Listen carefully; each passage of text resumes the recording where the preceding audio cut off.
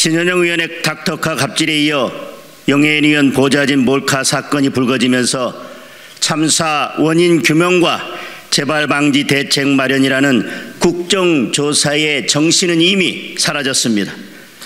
그런데도 박홍근 더불어민주당 원내대표는 국정조사 정상화를 위한 어떠한 조치도 없이 국정조사 결과 보고서 채택을 위해 국정조사 기간을 연장해야 한다고 때를 쓰고 있습니다.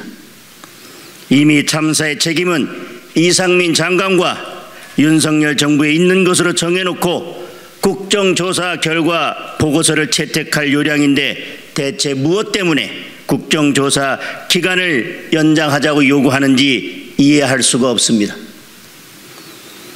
수사망이 좁혀오면서 검찰 소환도 거부한 이재명 대표의 구속영장 청구를 방탄하기 위한 목적이 아니라면 납득할 수 없는 요구입니다.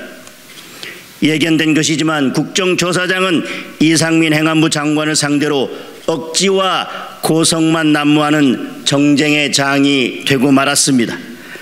아울러 국회의원이 자리를 비운 사이 그 보좌진이 기자를 가장하여 여당 국회의원들의 발언을 몰래 도둑 촬영하는 기막힌 일까지 벌어졌습니다. 이 현장을 보고 박홍근 원내대표는 공부하기 싫은 학생이 짝꿍 바꿔달라며 등교를 거부하는 꼴이라고 합니다. 어처구니가 없습니다. 수업 시간 내내 수업을 방해하고 딴짓만 하다가 쉬는 시간에 공부하겠다고 호들갑을 떠는 꼴입니다.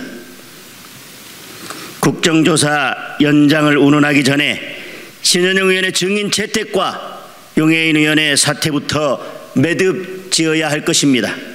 그것이 전제되지 않는 국정조사 기간 연장은 아무런 의미가 없습니다.